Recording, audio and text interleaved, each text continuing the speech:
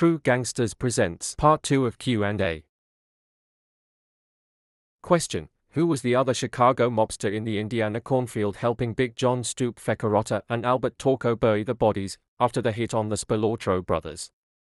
Answer: The other shadowy figure that was also there helping dig the hole and bury the Spilotro brothers in Indiana after the hit in Bensenville, Illinois, was no other than low-key and long-time gangster, Dominic Tootsie Palermo. Dominic Tootsie Palermo. As seen here in this photograph.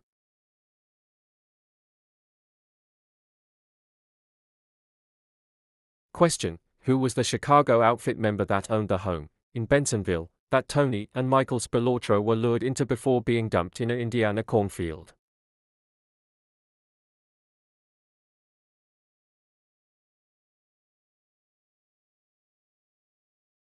Answer: The name of the man who owned the home was no other than Tony's Carbo back home that he trusted, Louis Eboli, owned the home the two brothers were killed in the basement of. Louis Eboli was sent from New York to be with Chicago, after his father was whacked. Lucky Tony, little did he know he was secretly an enforcer for Sam Carlisi, and would kill the Spilotros along with other mobsters.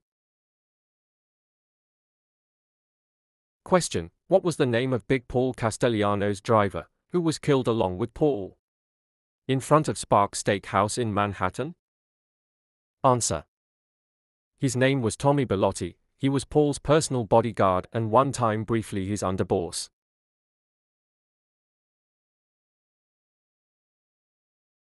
Question? Do I think Lil Tony Zizzo of the Chicago outfit is dead, in the witness protection program, or in hiding? I did a whole video on this subject, that video was also requested by supporters of the channel, but I would be glad to give more of my thoughts on this situation. Answer: He was wiped out by upper management after being left vulnerable with his captain in prison. Some think he is hiding or in the witness protection program. I would not say being in the WITSEC program is also not a possibility, although he never had the reputation of a beefer. If that is the case, it is more for protection after being vulnerable to members after him and his captain's rackets. He was most likely whacked by the outfit or let's say his competition.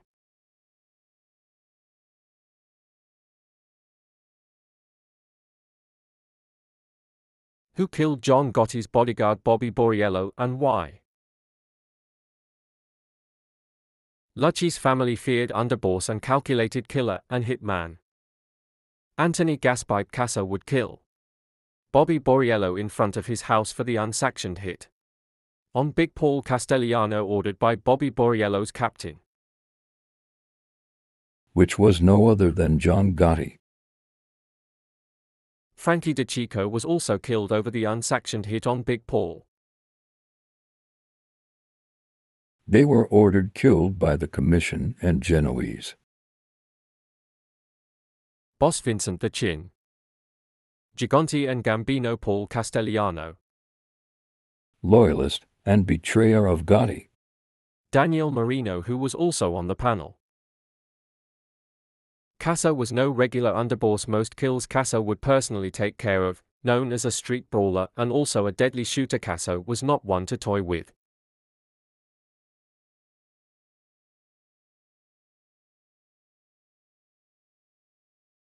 Gravano was also a feared underboss consiglia, despite what people may think, Gravano and Casso did business together and had personal meetings together even being caught on surveillance footage with one another.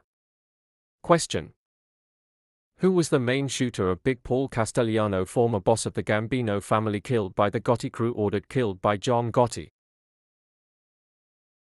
They had several planned shooters on the scene along with backup shooters, but Gambino enforcer and Gotti loyalist John Carneglia would get off the kill shot that take out Big Paul. Eddie Lino was also a shooter and like Borriello would also be killed by the Lucchese family by Casso's orders.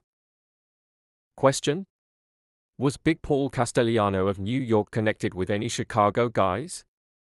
Answer Yes, the FBI indicated that he once had ties to Joey Doves Aiuppa and Jack Cerone, leaders of the Chicago outfit. Jack and Joey would visit Paul on business in New York.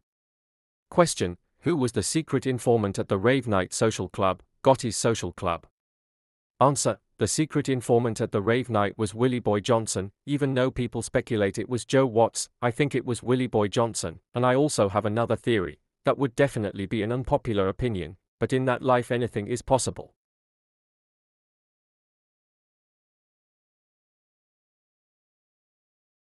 Question?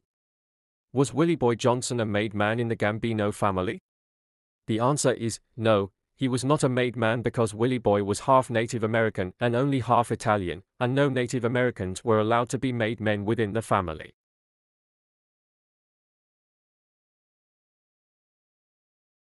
Question. Which gangster has been your favorite to research and write about? Answer. My favorite gangster to write about has been John No Nose DiFronzo of the Elmwood Park Crew, Chicago outfit. I also really enjoy writing about John Gotti of New York's Gambino crime family. Question. How did Anthony Gaspipe Casso get his nickname? He inherited the nickname from his father Gaspipe Sr. who used a heavy gas pipe to strike his foes with. Casso would follow in his father's footsteps and also use a gaspipe to strike his enemies. Casso was a very feared made man and underboss, another gangster I truly enjoy writing about. Question. Did Greg Scarpa have a nickname? People always confuse him for Anthony Gaspipe Casso, so, what was his nickname? Greg Scarpa's nickname is the Reaper Greg the Reaper Scarpa. I also have seen people call him Gaspipe or call Gaspipe the Reaper by accident. Once again, Greg's alias is the Reaper.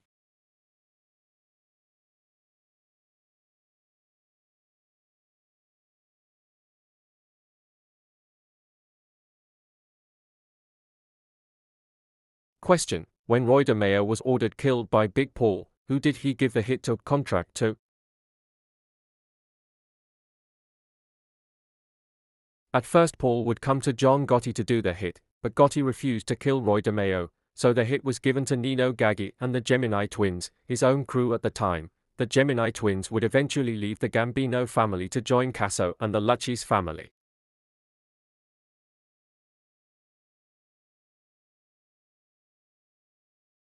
This was out of Gotti to do because in the life when you are asked to do a hit, it's an order from the boss and you follow through with that order without any hesitation. The only reason Gotti might have hesitated is out of fear of Roy and his crew. If the hit was somehow botched, Gotti would have paid the ultimate price, but on the flip side, Paul could have had Gotti clipped instantly for refusing to take orders which is not how Mafia does things, but Gotti did things his way and turned it down.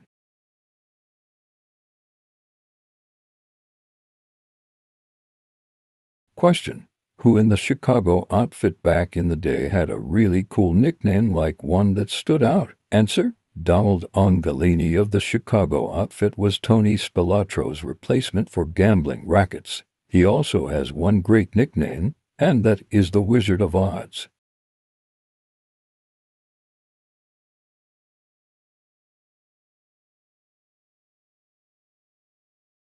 Thanks for watching part 2 of this special Q&A episode. Your mob historian pal, True Gangsters of Yesterday.